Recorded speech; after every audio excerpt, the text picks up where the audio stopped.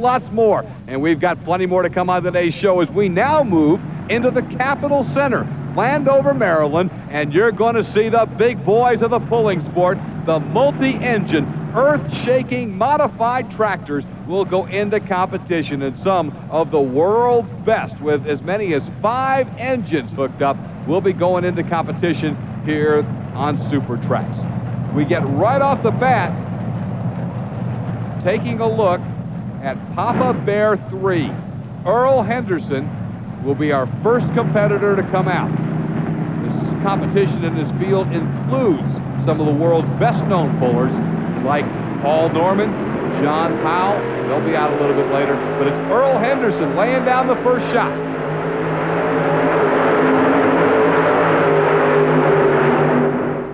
Outstanding pull for Earl Henderson and the Papa Bear 3. Looking at it again. Beautiful tractor, four engine combination, and boy, did he have plenty of muscle on all four of them. On the test pull, he takes it out of there, and so we've heavied up the sled.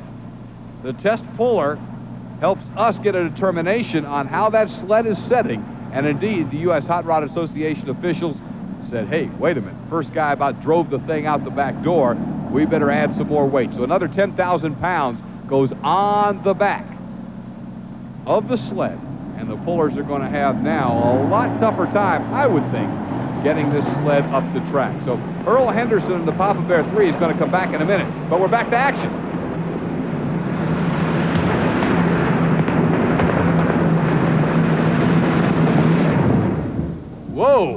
Twin Allison aircraft engine power, not quite enough to get a real good run as we're going to take a look at it once again on the replay. Boy, you can see those twin Allisons and their penchant for just popping and spitting and popping and spitting. And indeed, the run comes all the way down 155 feet, 2 inches for Richard Rockefeller and the Policy Peddler. Now, this one-to-go paint job is pretty incredible. And kind of a hot fluorescent green, if you will. Gary Mill and one to go. All right, you can hear the unusual whine and the unusual looking engine. That's a turbine engine. There's that turbine whine as he takes it out. Oh, and it detonates on it. It just exploded after about 20 feet. And one to go goes in a puff of smoke and a flash of flame. One to go is going to break, and he'll have to settle for an official run of just 20 feet. And I know Gary Mills is terribly disappointed with that bad break here at Landover, Maryland in the Cap Center. Well, Papa Bear 3 now will come back. You'll remember he was our test puller and banged it all the way to the back end of this building. They heavied the sled up, and now Earl Henderson will try it again. The distance to beat, 155 feet, 2 inches. Richard Rockefeller and the Policy Peddler, the current leader. The Papa Bear 3 four-engine combination looked awfully strong on the test pull. Here he comes again.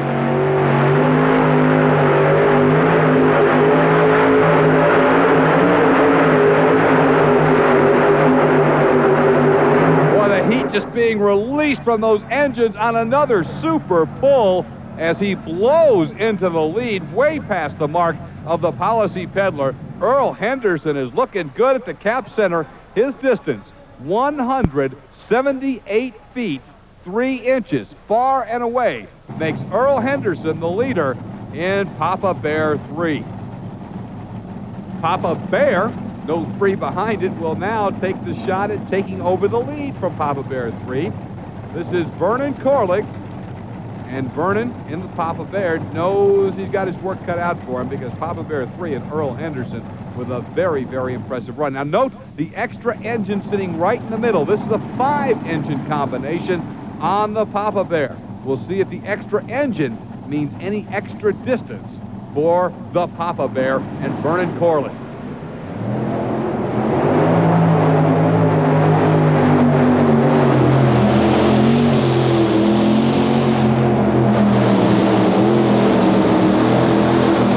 You could see problems with one engine cost him some distance.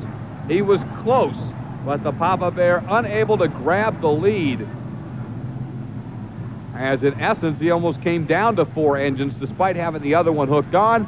And the distance will only be 172 feet 11 inches. I say only, it's a strong pull, but it's not good enough to take the lead. Vernon Corlake and the Papa Bear at 172 feet 11 inches will find that pull, at least for the moment, will drop him into the number two position. Groundhog will be next up. This is Bob Kinser, and Kinser knows he's got his work cut out for him as he'll have to try and outmuscle Papa Bear 3's impressive pull earlier today, which came in at 178.3. Groundhog takes the slack out of the chain, and Bob Kinser is next up to try and get it done here in the Cap Center.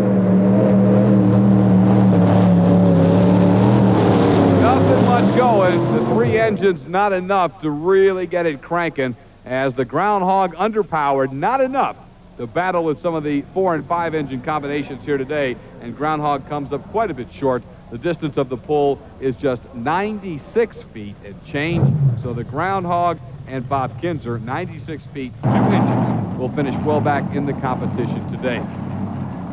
Tally Davis comes out next, the running bear.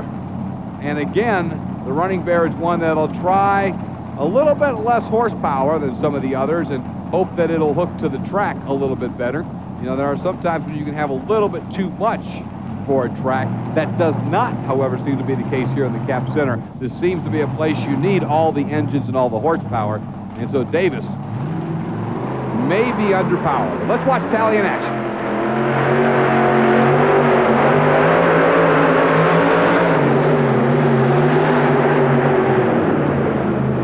Indeed, two engines just not enough to go up against these guys here today at the Cap Center in Landover, Maryland on the U.S. Hot Rod Tour.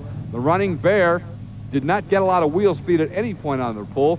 Not bad, but 138.1 is not going to be enough to get near the front of the pack today. So 138 feet 1 inch, the official distance for the Running Bear and Tally Davis.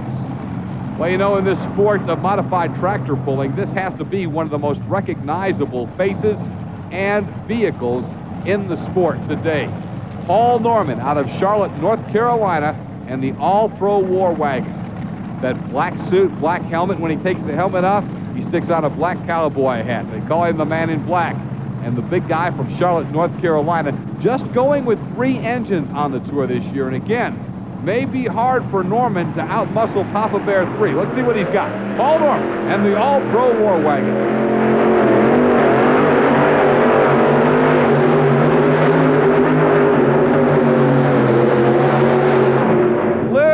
Short of the lead distance. It's going to put him in the upper crust here today, however, as Paul Norman's three-engine combination, the All-Pro Auto Parts War Wagon, will come in at 162 feet 4 inches, the official distance for Paul Norman out of Charlotte, North Carolina. A good pull, but it won't be enough to knock Earl Henderson from the top spot. Papa Bear 3 continues to sit number one at 178 feet 3 inches.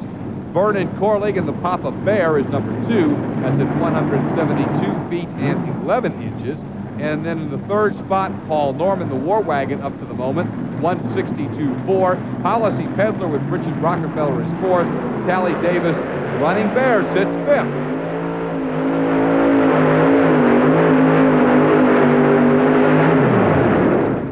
Coming up way short, the altitude adjuster not quite getting it down the track. Philip Jones has a little problem right there at the end of the run. And once again, just a couple of engines. So the two engine combinations, because this is a track where you got to have some horses, not getting up there enough. 97.9, 97 feet, 9 inches for Philip Jones and the altitude adjuster. The Clodhopper, I love the name of this tractor, the Clodhopper comes out next as Robert Hutton We'll see if he can do anything with the Papa Bear 3 distance of 178 feet, 3 inches. Just a couple left to knock Earl Henderson off. But lurking in the wings is one of the most powerful machines, the John Powell Powell pulling tractor. Here's the Clodhopper, though.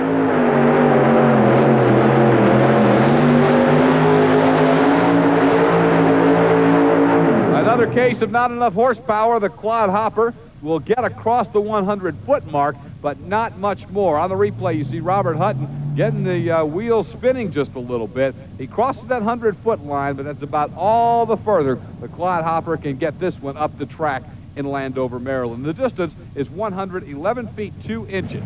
Well, Earl Henderson at Papa Bear 3 is your leader at 178.3. However, I guarantee you Earl is pacing the floor right now because the only competitor left is the toughest here today in Landover, Maryland, based on points over the last couple of seasons with the U.S. Hot Rod Association. We're talking about John Powell and the powerful Powell pulling tractor. Now you can see John's got those big engines hooked up. Four engine combination is underway.